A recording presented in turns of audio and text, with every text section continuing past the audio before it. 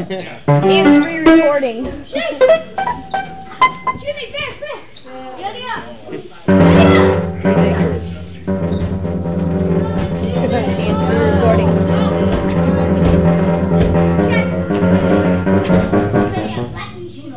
You could be Stevie Wonder, Seth.